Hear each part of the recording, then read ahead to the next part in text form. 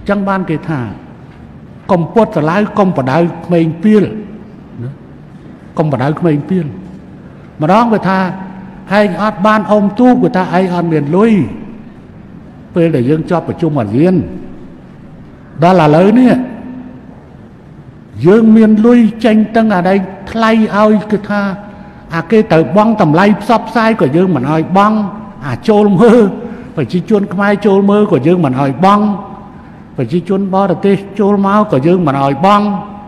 រួចហើយកីឡាករកីឡាកានេះដែលត្រូវបង់ឲ្យយើង50ដុល្លារក៏យើងមិនយក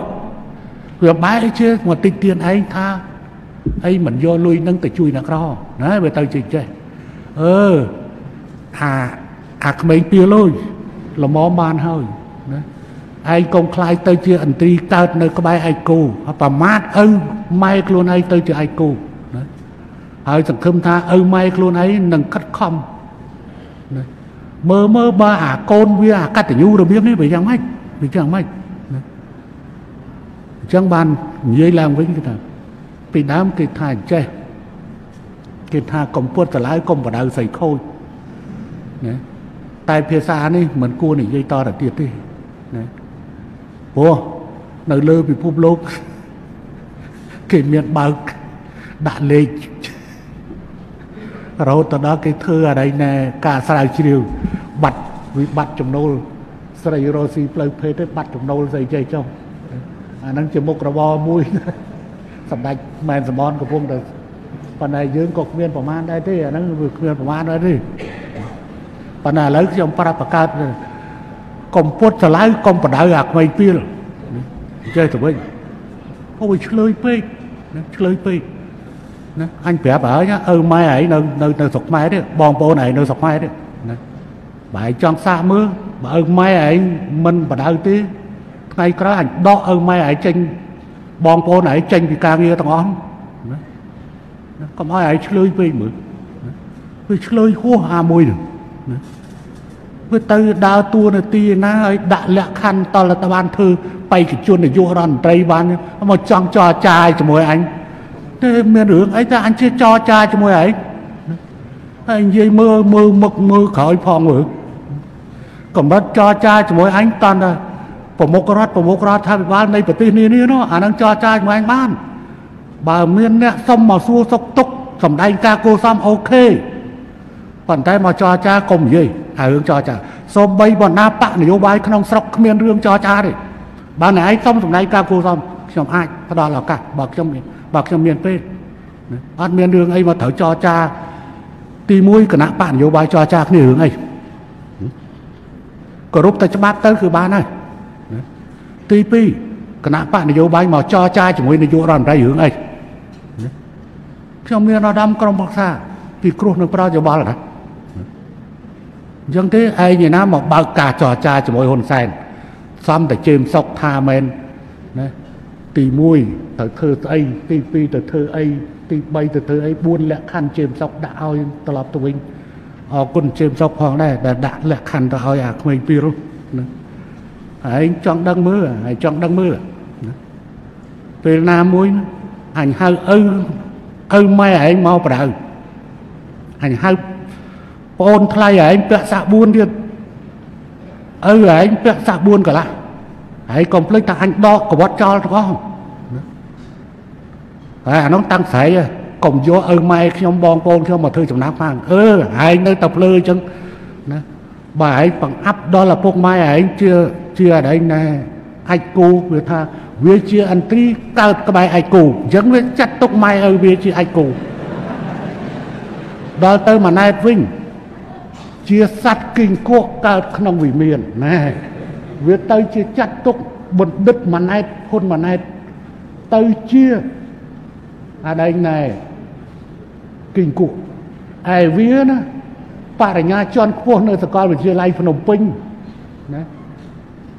ហើយថាវាបណ្ឌិតទៅចោះហើយវាคล้ายទៅជាអន្ត្រីកើតក្បែរអីគោចាត់ទុកម៉ែឪវាជាអាចគោហើយកុំភ្លេចណាបើឪម៉ែឯងជាអាចគោឯងក៏ជាអាចគោដែរកុំឆ្ងល់ពេកកុំឆ្ងល់ពេកណា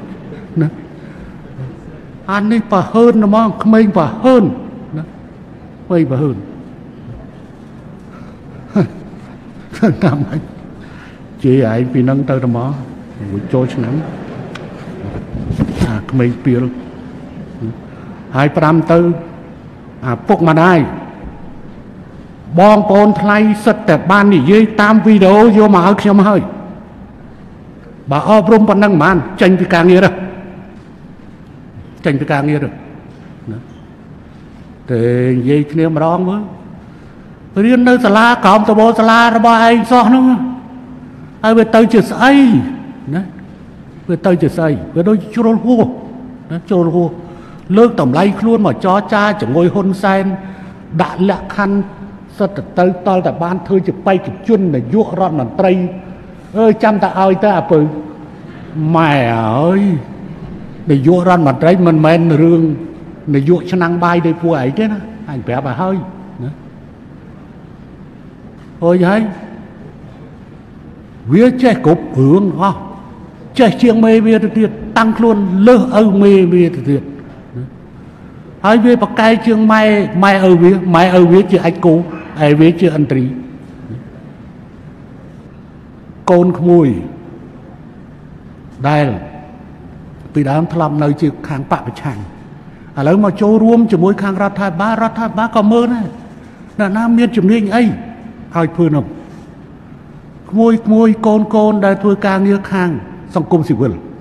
ឡូវក៏កំពុងតែចូលរួមជាមួយរដ្ឋាភិបាលដើម្បីនឹងធ្វើកិច្ចការតាក់ទងជាមួយនឹងបញ្ហានេះបញ្ហានោះរាប់ទាំងបញ្ហាបរិស្ថានហេតុអីបានទៅជឿគេណា ថ្ងៃហ្នឹងថាគេស្នេហាជាតិគ្រាន់តែគេមកគ្រប់គ្រងរដ្ឋាភិបាលភ្លាមថាគេក្បត់ជាតិភ្លាមវាមិនគួរវាមិនគួរគណៈបព្វជិជនអត់មានវប្បធម៌ហ្នឹងទេណាតែណាចង់ទៅណាក្នុងរឿងរបស់គេក៏ប៉ុន្តែខ្ញុំមិននឹកស្មានថាពួកអ្នកដែលនិយាយពីប្រជាធិបតេយ្យបែរជាបែរជាប្រឆាំងនឹងដំណើរការប្រជាធិបតេយ្យប្រឆាំងនឹងការជ្រើសរើសដោយសេរីនៃសេរីភាពខាងនយោបាយរបស់ពលរដ្ឋណា ហើយតែងតែលៀបពណ៌គេលក់ក្បាលអីអញ្ចេះអីក្បត់មនសការស្អីស្អីណាអាមួយអីបនលបែងនោះអាមួយនៅបនលបែងជាប់នោះគេបង្ហោះឌឺថាបើចង់បានធ្វើអ្នកធំតើទៅចូលសមាជិកគណៈបកប្រជាជនទៅចូលបកប្រឆាំងសិនហើយចាំចេញត្រឡប់មកវិញបានធ្វើធំហើយចាំទៅអាពើប៉ុន្តែបើអាពើឲ្យមក អញលើកលែងទោសហើយអញតែងតាំងឲ្យឯងធ្វើស្អីមួយនៅក្នុងរដ្ឋាភិបាលហើយសាកមើលអញឲ្យទៅណាអាហ្នឹងអាមេលបែងខ្ញុំនិយាយអាមេលបែងហ្នឹងទាំងធ្វើអានេះលបែងក្នុងស្រុកខ្មែរហើយទៅដល់នោះគឺលេងលបែងនៅអាមេរិកទៀតហើយអញ្ចឹងអ្នកចូលលុយចូលដើម្បីឲ្យអាអ្នកចូលកាស៊ីណូហ្នឹងអាហ្នឹងចូលទៅហើយបើមានលុយអាហ្នឹងចូលទៅហើយដល់ទៅយកលុយគេកាស៊ីណូអាអ្នកនៅក្នុងស្រុកវាអត់លុយណាវាអត់លុយព្រោះ ទៅចលនាគេចលនាថាយកមកជួយអ្នកក្នុងស្រុកដល់អ្នកក្នុងស្រុកក៏អត់បានលុយព្រោះយកទៅចាញ់កាស៊ីណូនៅបាត់តាអញ្ចឹងទេឲ្យទៅអញ្ចឹងហ្មងទៅណាអាហ្នឹងគេហៅយុទ្ធសាស្ត្រពុទ្ធរុញទូកបដ ாய் ទឹកឲ្យទៅបដ ாய் ទៅណាបើថានិយាយគ្នាវាស្ដាប់ប្រហែលទេគឺមានតែវិធីរុញទូកបដ ாய் ទឹកឲ្យឆាប់អាលាយតែប៉ុណ្្នឹងឆាប់អាលាយប៉ុន្តែអាលាយមិនអាលាយអាហ្នឹងគឺរឿងរបស់គេទេអាហ្នឹងទុកឲ្យគេទៅចោះទោះគេក៏ប៉ុន្តែវាតោះឆ្ងល់ដល់អញ្ចឹង ខ្លួនឯងគេប្រើសោះហ្នឹងហើយមកថាយើងជាមនុស្សល្ងងអញ្ចឹងបើសិនជាអាមនុស្សល្ងងប្រើអ្នកឯងបានតើអ្នកឯងជាល្ងងស្អីអាហ្នឹងល្ងងទ្រីបហ៎ចុះអាហ្នឹងមិនមែនត្រឹមតែមិនមែនត្រឹម double ទេណាអាហ្នឹងចូលដល់ triple ហ្មងខាងល្ងង ខាងល្ងងឲ្យល្ងងបន្តល្ងងទៀតទៅអាល្ងងណាល្ងងអើយរឿងពូនេះនិយាយមិនអស់ទេអាហ្នឹងចាំដល់ពេលខ្ញុំចូលនិវត្តខាងនយោបាយទៅខ្ញុំដើរគេថាដើរទេសនានិយាយរួមទុកឱកាសឲ្យសិស្សសានុសិស្សនិស្សិតឬក៏អ្នកនយោបាយឬអ្នកស្រាវជ្រាវថាហឺលោកឯងធ្វើម៉េចរបៀបម៉េចបានជាដំណើរចេញជីវិតមក ពួកខ្ញុំចាប់ផ្ដើមអាជីពពិតប្រកបជាអ្នកនយោបាយដឹកនាំមកពីអាយុ25ឆ្នាំពីអាយុ18ឆ្នាំដល់អាយុ25ឆ្នាំ គឺជាដំណាក់កាលដែលគេប្រើធ្វើកូនទាហានគេប៉ុន្តែចាប់ពីអាយុ25ឆ្នាំមកខ្ញុំតាំងថាលេងស្ដាប់អាណាធរគឺមានតែប្រជាជនមួយគត់ដែលមានលទ្ធភាព ឲ្យខ្ញុំបម្រើក្រៅពីនោះអ្នកនយោបាយណាក៏ខ្ញុំមិនជឿដែរព្រោះសុកសុកតំណំនេះធ្វើរដ្ឋប្រហារឯងទៅខំចូលបម្រើទៅរួចហើយមកជន់ស្កាប់សម្លាប់ប្រជាជនដល់អញ្ចឹងគឺចាប់អាដកខ្លួនខ្ញុំអត់ដែលធ្វើកូនចៅណាណាទេកុំណាណាមកតាំងខ្លួនថាជាមេហ៊ុនសែននៃតាំង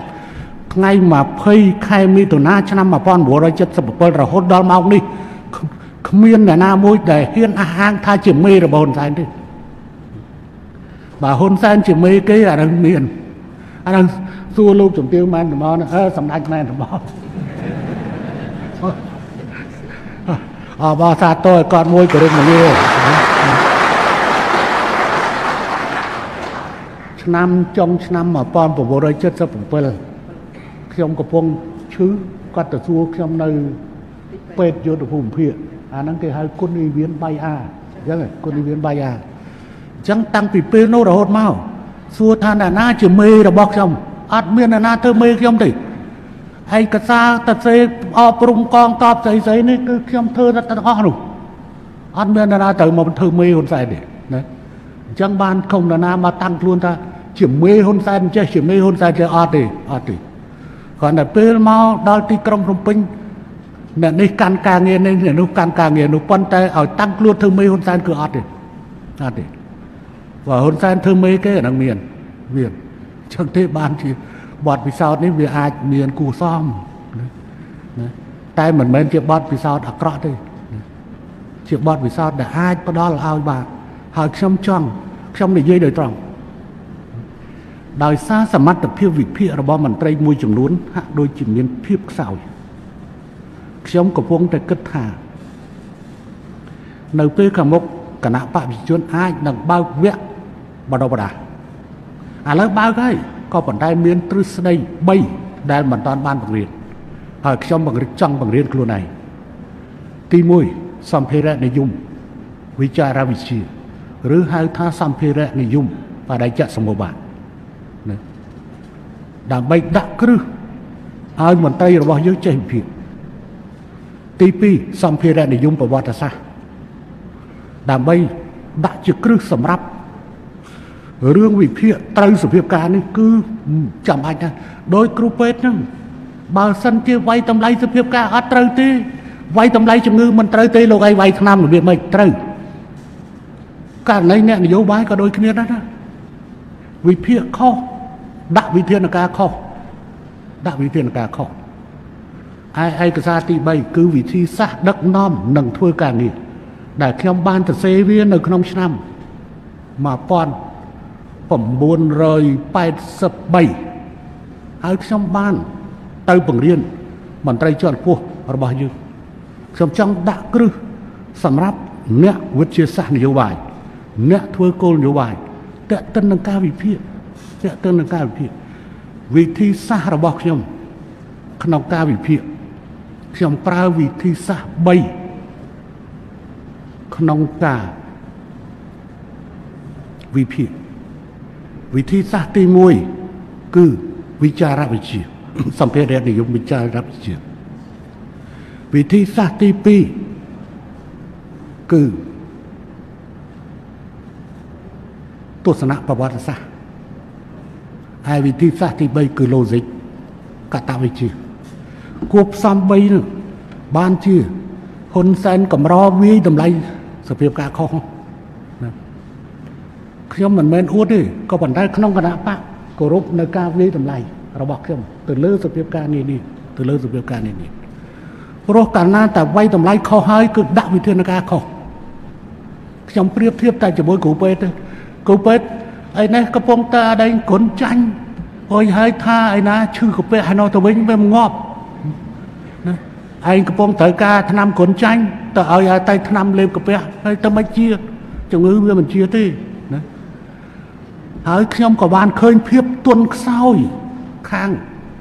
ក្រមប្រឆាំងគឺទន់ខ្សោយផ្នែកការវិភាគវាយតម្លៃសភាពការរបស់ផ្ទៃក្នុងគណៈបកប្រជាជនមិនដែលចេះត្រូវអញ្ចឹងបានជាខ្ញុំប្រាប់ទៅសហការីរបស់ខ្ញុំថាទុកឲ្យគេវាយតម្លៃខុសតទៅទៀតចុះ